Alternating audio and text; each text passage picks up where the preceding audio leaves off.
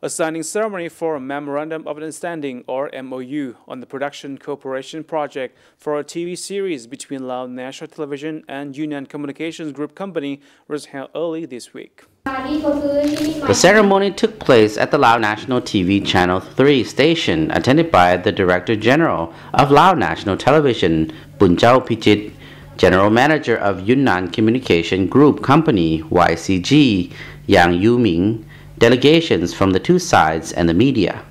The intention of the MOU is to add to the quality and quantity of programming available to TV viewers in Laos. After signing the MOU, the two sides will soon make a plan for discussions on further details of the cooperation project, series production preparations, advertising, and sales.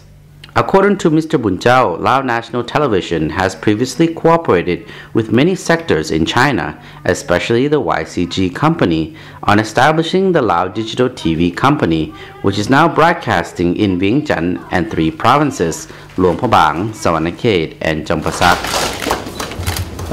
The cooperation between the two organizations is a project providing for more TV programs to be broadcast on Lao National TV Channel 3 and other channels, such as series on different aspects of agriculture and Chinese cartoons. The Chinese government also previously gave funds to Lao National TV Channel 3 for technical equipment maintenance. This is now working well.